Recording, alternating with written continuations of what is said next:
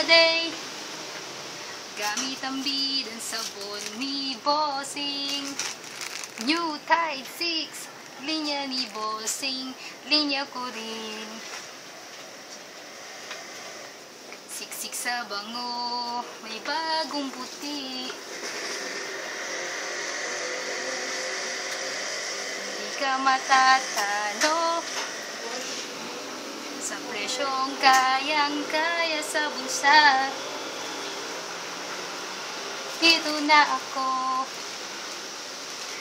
Sa bidang sabon ni Bossing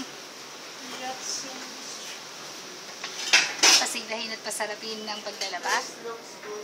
With Coca-Cola.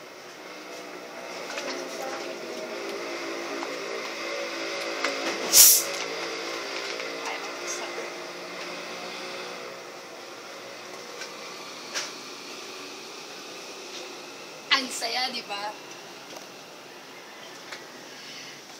Dalangin ko po na ma-bless and ma-favor po kayo ni Jesus Christ ang lahat po ng mag-like and share ng video nito. God bless po. Sana po mapanood ni Posing.